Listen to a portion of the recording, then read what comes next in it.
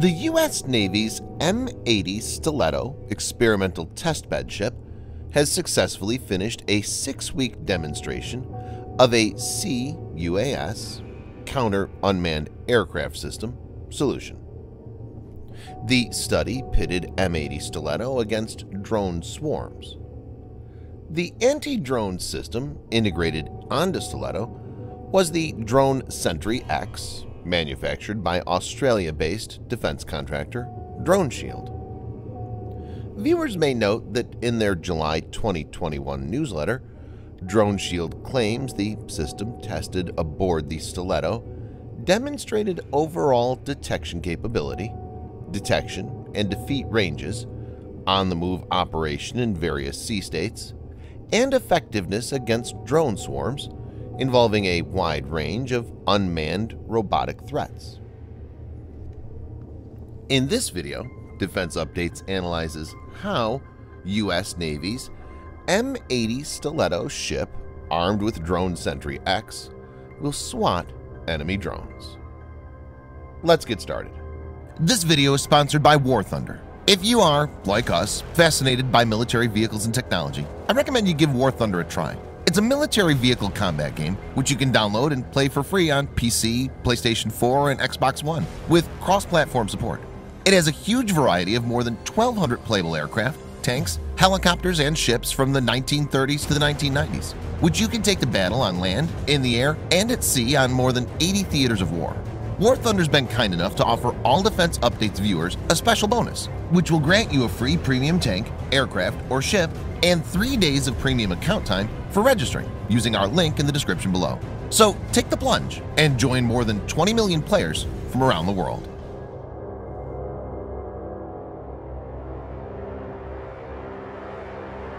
The technology of swarming is in which drones, as well as smart munitions, will be deployed in squadrons able to think independently and operate as a pack using artificial intelligence AI.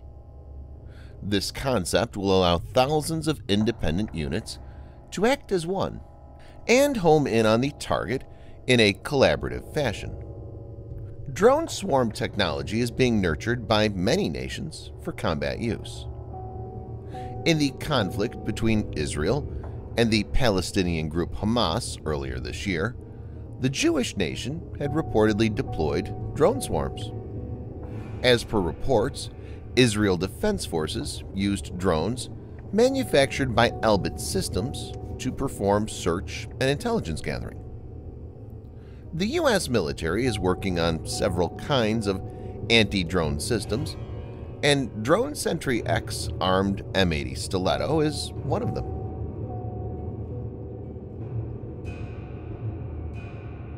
The M80 Stiletto is an American prototype naval ship using advanced stealth technologies. The M80 is produced by American marine engineering contractor the M-Ship Company as an experimental testbed ship for the Pentagon's Office of Force Transformation. It's notable for its innovative pentamaran hull design and advanced carbon fiber composite construction. The 88-foot or 27-meter stiletto's unusual shape and patented M-hull provides a stable, yet fast platform for mounting electronic surveillance equipment or weapons, or for conducting special operations. Its shallow draft means the M80 Stiletto can operate in littoral or riverine environments and potentially allows for beach landings. The M80 Stiletto is equipped with four Caterpillar Inc. C32 1,232 kilowatt 1,652 horsepower engines, generating a top speed in excess of 70 miles per hour or 110 kilometers per hour, and has a range of 575 miles or 900 kilometers when fully loaded.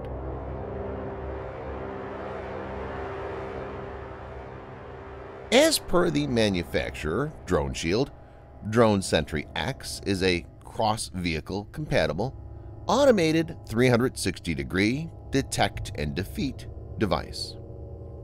It's essentially a CUAS, Counter Unmanned Aircraft System, that provides a non-kinetic means to defeat drone threats. Drone Sentry X is claimed to provide 360-degree awareness and protection using integrated sensors to detect and disrupt UAS moving at any speed, suitable for mobile operations, on-site surveillance, and on-the-move missions. The design has a lot of flexibility. The manufacturer states that the robust compact unit can be mounted on mobile platforms through standard vehicle roof racks. Also, it can be deployed at a fixed site or as a temporary pop-up solution with on-site or remote operator access.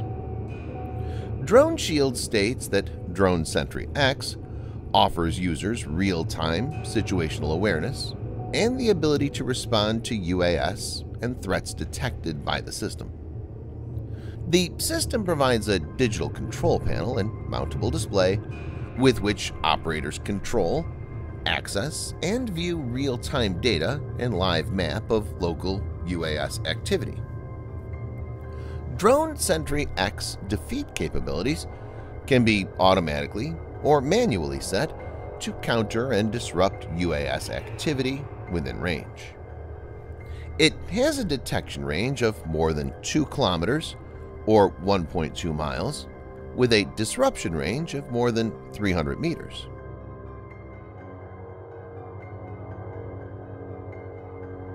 For this latest demonstration, the Drone Sentry X was fitted to M80.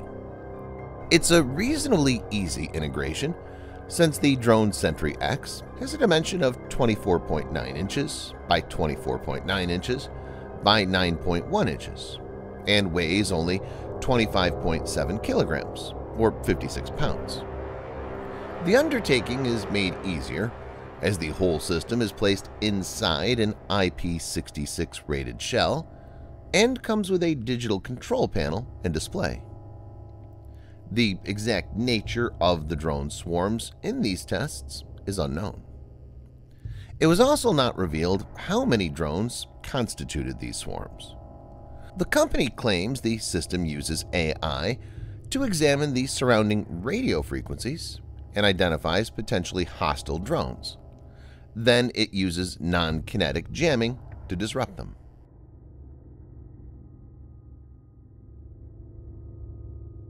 Drone technology has become very advanced and relatively cheap. A swarm of drones armed with explosives has the potential to cause a lot of damage. The conflicts in Iraq and Syria have shown that this kind of capability is within reach of even non-state actors. In January 2018, a mass drone attack was witnessed on Russia's main outposts in Syria, the Khmeimim Air Base and the naval base in Tartus. Though the damage from the attack was insignificant as per Russia, it clearly displayed the potential of drones in warfare.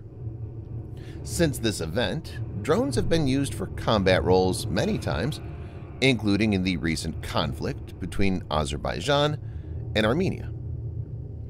The U.S. Navy itself had to face a drone threat when an Iranian drone came close to USS Boxer and had to be taken down. So the threat from drone swarms is real, and experiments such as this will go a long way to mitigating this.